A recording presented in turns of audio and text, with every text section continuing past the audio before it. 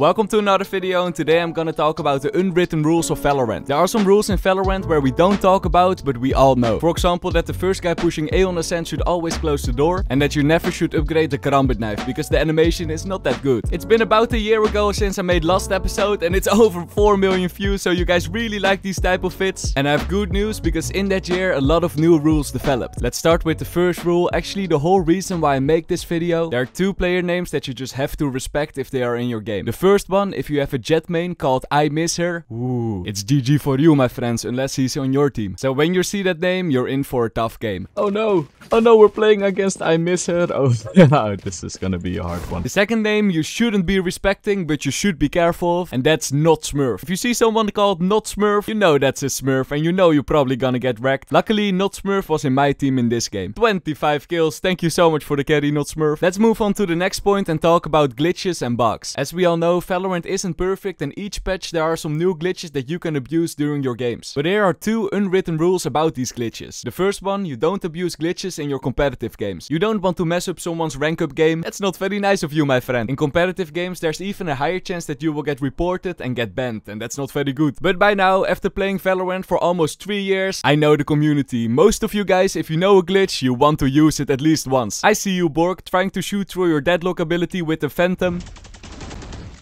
Dude, my util, I can like shoot through my util, so I did it. So forget the rule that I just said, here's a new rule. In competitive, when you use a glitch, you're not gonna use it again in the same game. So only use your glitch once. It's better to not use your glitch because you don't want to get banned of course, but if your fingers are tingling, you're only gonna do it once and just pray you don't get banned by Riot Games. Something that's in the roots of every Valorant player is that they have to be funky so now and then. What do I mean? Well, if you've been playing Valorant for the whole day, then your brain is probably gonna be mush and you're gonna do some strange things, like this Gekko is doing in this round. I said no. Me, man. No means no. Ah!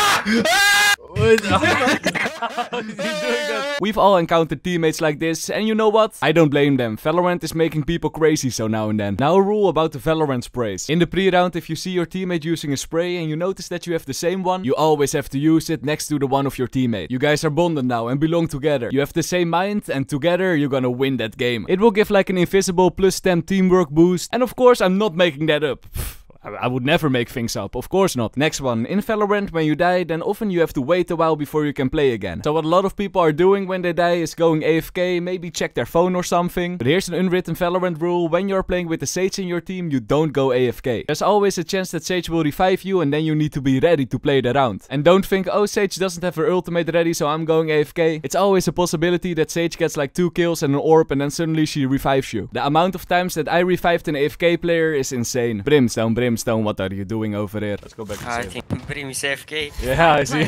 Let's move on. An unwritten rule for when you are playing a new agent. As most of us know, when you're playing a new agent that has a Molotov, an unwritten rule is that you have to learn at least one or two post-plant lineups. I've discussed this rule in the last episode, but I have an addition for this rule, my friends. When you're playing a new agent and you need to learn lineups, of course you're not gonna do that before the game starts. You don't gonna hop into a custom game yourself and search for lineups, and you're also not gonna look on YouTube for lineups for every single map. No, no, no, that's not how it works. This how it goes. When you want to play a new agent, you're gonna hop into a game, then see what map you are playing, and then you're gonna search on YouTube for lineups. So you will learn the lineups in between rounds. There's a reason that the timing in between rounds is so long, my friends, and that's to learn lineups. Next rule. This is a quick one. If you use your Deadlock ultimate, it takes a while before the enemy dies, of course. Here's a rule that you just have to follow if you play Deadlock. If you get the last enemy with your ultimate, you got to disrespect him. It doesn't matter if the enemy can't see it, but you just crouch a few times, show him your back, and that's how you win in style with Deadlock. One enemy remaining.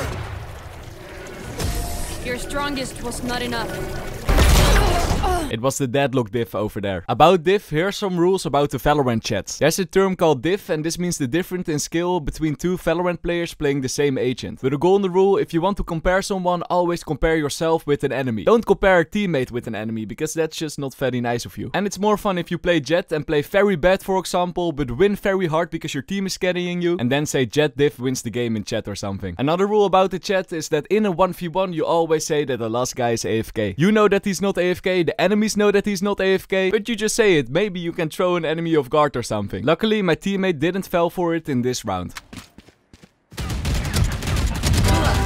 Now let's talk about everybody's most hated gun, the Odin. I'm really sorry for all the Odin mains out there, but honestly, as most Valorant players know, an unwritten rule is that you just don't play the Odin. I mean, it's no fun when you use your Sova arrow and kill the enemies through the wall. One rule about the Odin though, if the enemy buys it first, then you also can abuse the Odin's threats. Next rule, this one is about team deathmatch and deathmatch. First one, in team deathmatch you're not gonna use your voice chat to talk about in-game strategies. I mean, it's team deathmatch my friends, chill out. It's just a chill warm-up for everyone, you don't want to think too hard. If you're gonna use your voice chat, just do it in a chill manner. Get to learn some people, make some new friends, but don't sweat too hard in team deathmatch. The next thing is about all chat in deathmatch and team deathmatch. This one is simple, don't use it. Let's move on and talk about the Premier tournaments. There's actually just one simple rule about this. If you won the Premier tournament with the same team, of course everybody needs to equip the player card. By doing this, you will scare the enemies. They might think, oh no, they won the last tourney, we're gonna get wrecked this game. But in fact, your team is actually not that good as the enemies might think. Equipping the player card will just give an invisible boost. Now let's talk about the rule that I have discussed in a lot of tips and tricks videos, but I just had to also include it in this one because it's so essential. On Lotus over here, if the barriers are going down, don't push immediately. Almost every time the enemies will throw a lot of utility and that will do a lot of damage my friends.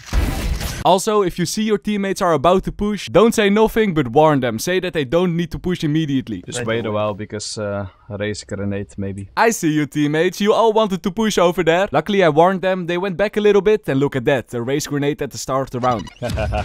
Not that it mattered because we were 2-10 behind and lost the game very hard. We're on Lotus, here's a quick one, I might be the only one, so I'm wondering if you guys are doing this, but on the attacker side, do you also always walk on this ledge over here? Apparently Chamber is doing this, so I'm not alone. You have to do something in the pre-round, right? And by the way, setting up your Cypher traps is overrated in the pre-round. Next rule, when you're playing Valorant, of course you need to check the shop every single day. You don't have to buy anything, you probably don't have the money for that, but still you have to check it. Especially the accessory store because you never know when the lowlander fish buddy comes in your store. Honestly, when this little fish is coming in your store, of course you need to buy it, my friends. That's also just an unwritten Valorant rule. Now a rule about our favorite fireboy, Phoenix. I think literally nobody ever said favorite fireboy, but uh, now I've said it, I guess. Anyway, here's the rule. When you're low HP and you want to heal yourself, you're of course not gonna do that close to your teammates. What you gotta do is run far away, find a safe spot all by yourself, and then you're gonna set yourself on fire. Don't be a burden for your teammates, my friends. Now, quick rule for those who have friends and sometimes are playing with those friends. When you see that the game is almost over, of course you're gonna wait for him. But things might get a bit complicated if the game isn't almost over. Take this game for example, it's 6-6. Do I have to wait for him or do I play in game? I'm not really sure. Well, here's a golden rule. If the game is halfway there, then you can do a quick deathmatch or swift play for example. And when you see that your friend just started the game, it can mean two things. First, he doesn't want to play with you, so just play solo game. Or the second thing, he didn't see that you were online, so you can just start a quick game and when yours is over, he has to wait like 5 minutes for you. Now let's move on. I have two quick questions for you. The first one, if you're a supporter of this channel, could you check if you're still subscribed? Sometimes YouTube unsubscribes people. And the second one, if you think I missed anything, let me know in the comments down below. And maybe a part 4 is coming one day. Thank you for watching, bye bye.